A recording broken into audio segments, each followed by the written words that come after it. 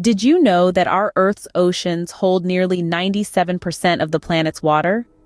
That's a vast amount of water, making the oceans far more than just a home for marine life. They are a significant player in managing the Earth's climate and weather patterns. The oceans serve as the Earth's largest solar energy collector. They absorb the sun's heat, distributing it around the globe, moderating the planet's temperature. This is why coastal regions often have milder climates compared to inland areas. But the influence of the oceans goes beyond temperature regulation. They also drive the weather. Have you ever wondered why it rains?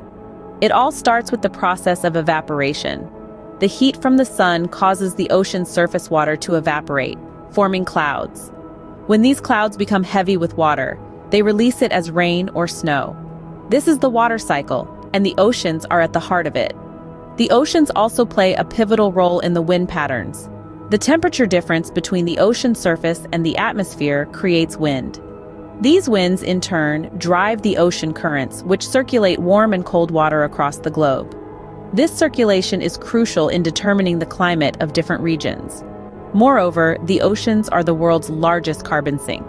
They absorb about one-third of the carbon dioxide produced by human activities, helping to reduce the impact of global warming. In conclusion, the Earth's oceans are not just large bodies of water. They are key regulators of the Earth's climate and weather patterns.